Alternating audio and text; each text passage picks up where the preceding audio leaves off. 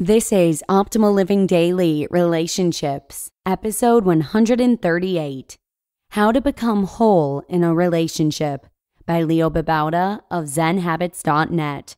Hello, relationship optimizers. Thank you so much for joining me here on the Relationships edition of Optimal Living Daily. I'm your host, Joss Marie and this is the show where I have the honor of narrating posts from some of the best relationship blogs on the planet every single weekday free of charge. Today, I have a post from Leo Babauta of ZenHabits.net all about becoming whole in a relationship.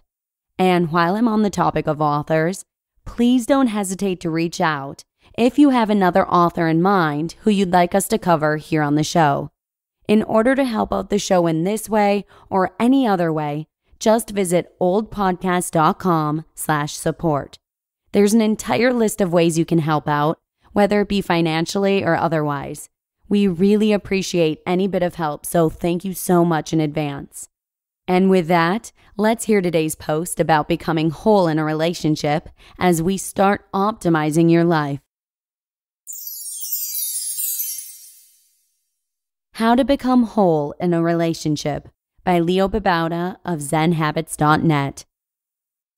Let's take an example of a woman I know who spends a lot of her day wondering what her boyfriend is doing, looking for clues that he loves her, wondering why he isn't paying attention to her, worrying that he's flirting with other girls on Facebook. Note that this applies to both men and women. I've just chosen a woman in this example. She's not happy in this relationship. She's dependent on him for her happiness and unhappy when he's not providing the validation she needs. When he doesn't show how much he loves her, she's insecure, jealous, needy. This doesn't make a good relationship or a happy person. What happens when you have some degree of this in your relationship? You're not a good boyfriend, girlfriend, spouse. The other person feels like he or she has to keep making you happy Always be on so that you won't wonder what's wrong with your relationship. Always supply your needs. Never have the freedom to do his own thing while you do yours. This makes for a tough relationship, and if it lasts more than a few years, long term problems usually develop. I know because I've done it myself and had to learn the hard way that this doesn't work well. Almost everyone I know who has had relationship problems has had some of these same issues. And the people who have healthy long term relationships, they've found a way to be whole, independent, secure.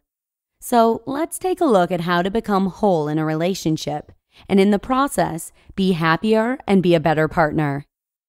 What a whole person looks like. Before we can talk about relationships, we have to focus on one person. Because when you have two people, the equation gets a little more complicated. Let's take the simplest part of the equation first just you. When you're whole, you don't need someone else's validation to be happy because you accept yourself. You don't need someone else to love you in order to feel loved because you love yourself. That's not to say you don't love to be loved by others or want others in your life, but you already provide the foundation of what you need all by yourself by accepting and loving yourself. When you're whole, you are not insecure because you aren't worried so much about the other person leaving. Sure, it would be a great loss for your loved one to abandon you, but you'd be fine on your own. You wouldn't be alone because you have the best company in the world yourself. You know you'd survive, be happy, do great things, even without that person. That's not to say you don't want your lover to stay, but you aren't always afraid of the possibility of that person leaving. When you're whole, you don't need the other person to check in with you all the time because you're happy on your own. You're okay if they go do their own thing because you're secure in your relationship and you're perfectly fine doing your own thing too. You don't need reassurance of that person's love because you're secure. Two whole people coming together. A solid relationship is two whole, or at least fairly whole, people coming together because they love each other's company. They're not coming together because they need someone to love them all the time, because they need someone's company all the time, because they need to be shown that they're loved. If one person is whole, but the other person is needy, dependent, insecure, the whole person will do the best that he or she can to help the other, but over the long run will feel weary of all the neediness and insecurity and will feel resentment. If both are needy and insecure, there will be constant fights about why you didn't check in with me, why you're so distant today, why you're talking to that guy, what you're doing when you go out with your friends, etc. But if both people are whole, they can be apart and are secure enough not to worry about the other person and are happy being alone. They can come together and be happy, enjoying each other's company. They don't need each other, but love each other and care for the other person's happiness, not worrying so much about their own happiness because they are secure that they're already happy. They respect each other and themselves. They are compassionate for each other and themselves. This is a relationship with two whole people. Becoming whole. So, what if you're not this whole person and want to be? Realize you already have everything you need to be whole. You just need to let go of the insecurities and realize how awesome you already are. You don't need improvement. You need to realize that the awesomeness is already there. How do you let go of the insecurities? That's not so easy because it's a slow healing process, but it starts by recognizing them when they appear and then letting them go. Notice that you're worried about what your significant other is doing, and then recognize that you're worried they don't love you as much as they should, and that means you are worried you're not good enough. Then let go of that worry. You don't need it. You are good enough. If you're good enough, that means the other person will either recognize that and love you, or won't recognize it and therefore won't be deserving of you and will not love you. But you'll be fine because you're okay on your own. If you're good enough, you'll be good enough with or without this person. That's not to say you want the person to leave or don't care about the person, but you know that you'd be okay if they did leave you.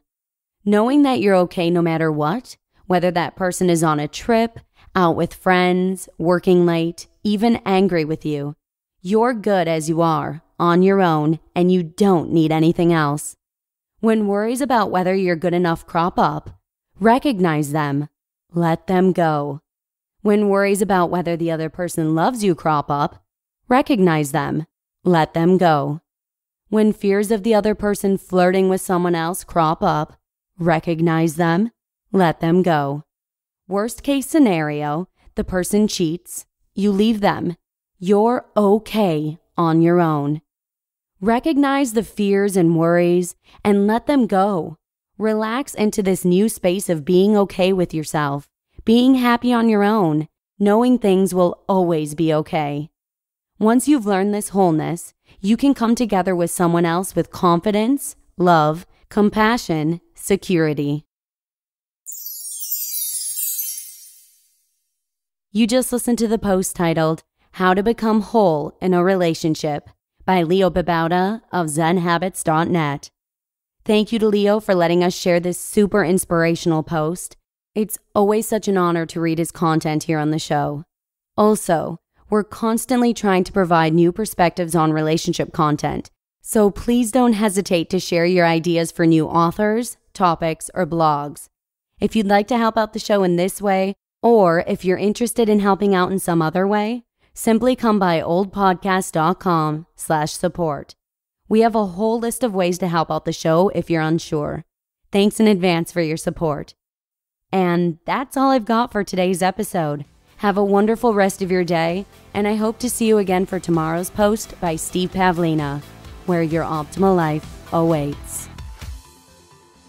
Hello, Life Optimizer. This is Justin Malik, creator and producer of this podcast, but also Optimal Living Daily, the show where I read to you from even more blogs covering finance, productivity, minimalism, personal development, and more from incredible bloggers like Derek Sivers, Zen Habits, Marc and Angel, The Minimalists, and all the ones you hear on this show too.